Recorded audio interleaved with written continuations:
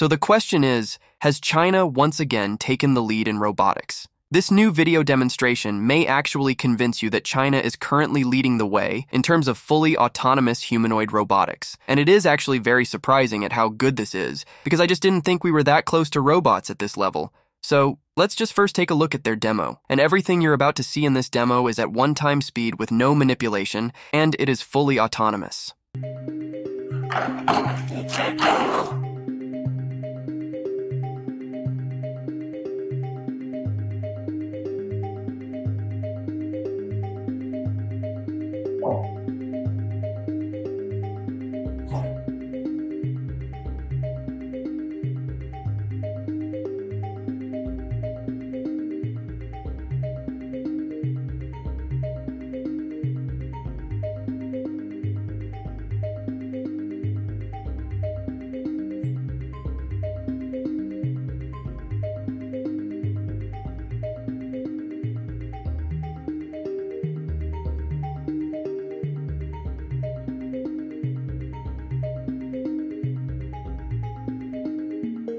Oh.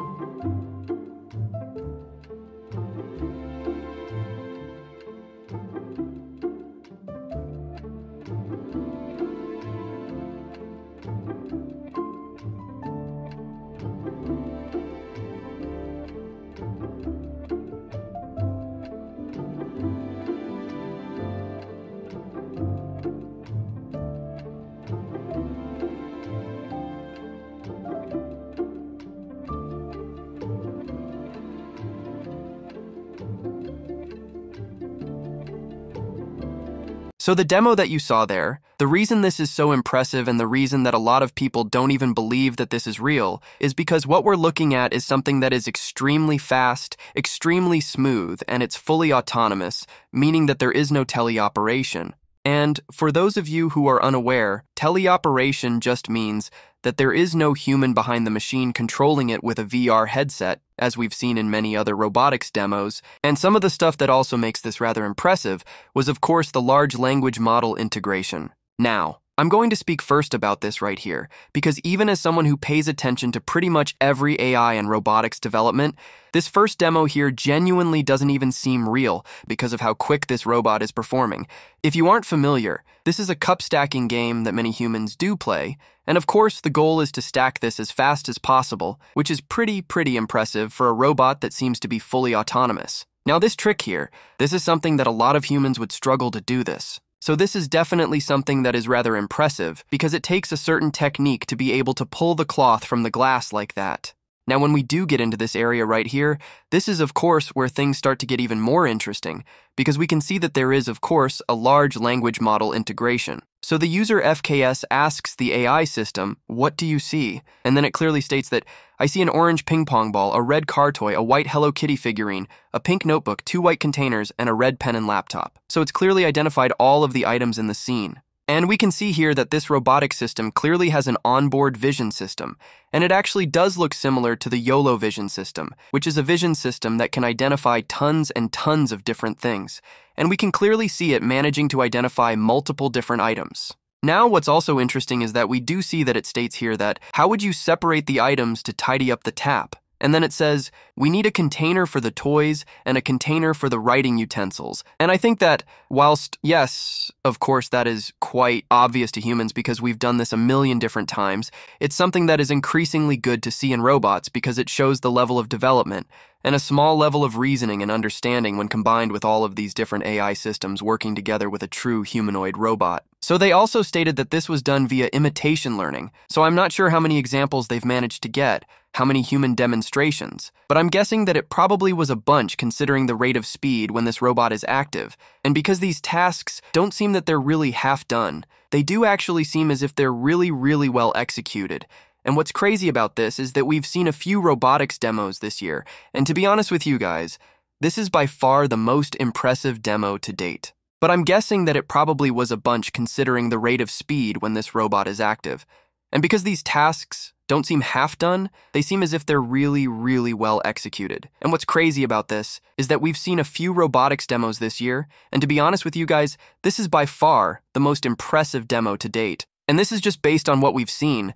And the craziest thing about this as well, and this is something that I've mentioned many times before, is that when looking at robotics demos, it's pretty surprising with what robots are simply able to do with this two pronged approach because many individuals would state that humanoid robots, in order to function effectively, you need five fingers just like a human uses. But it's clear from many, many different robotics demos that that might not be the very best approach. Sometimes keeping things simple and smooth can truly work wonders for what you're trying to do, and taking a look at this, we can see that this is exactly the case with this level of robotics. Now, while some people might argue that with some robotics demos, the problem with this is that they are in, I guess you could say, controlled environments where objects are placed down, and of course, things are done in a pre programmed environment where they've gone through the demonstrations many times. But I have to be honest, doing something like this, where you have a paper plane being thrown into a bin, that is something that honestly, for any robot to do along with the other tasks, is very, very impressive. Now, another thing that I would like to find out about this robot is if this robot does have a moving base, or if it does have any legs, because while yes, we can see from the top of the robot, we can see that it does have two arms and a vision system hooked up to the back. In order for this robotic system to, you know, be useful in the future, we're going to have to see if this thing can move around. Now, I've got to be completely honest with you guys. This robot definitely took me completely by surprise due to the fluidity, the speed, and not only that, the craziest thing about this demo was that there were many, several different examples of what this robot could do. It wasn't just one or two tasks, but there were several instances of it being able to do complicated and intricate tasks that even some humans might actually find pretty difficult. Now, two things that I'm looking forward to from this robot are Number one, with this robot being combined with an actual LLM system, one thing that I would like to see in the future is, of course, this robot potentially using that LLM to verbally speak with commands and have humans interact with it on a verbal basis, because currently, it seems that it was just a chat interface from the audio clip. It didn't seem as if there was any actual human to robot integration. It just seemed as if someone typed it in, and then the robot completed the task based on that, so that is what I would like to see. And then another thing, of course, another thing that I would like to see is this robot potentially moving around in the environment. Because one thing that robots do struggle with is being in different environments. And when the environment is reset, it becomes harder to identify objects and move objects to the correct location. So, those are two things that I think would be more impressive. So, in the end of today's video, I'd say that Astribot shows us now that China is not playing games when it comes to humanoid robotics, and I think we do have to give credit where credit's due, because this is clearly an area where China is investing a lot more than the US. And with that being said, let me know what you think about Astribot in the comments below.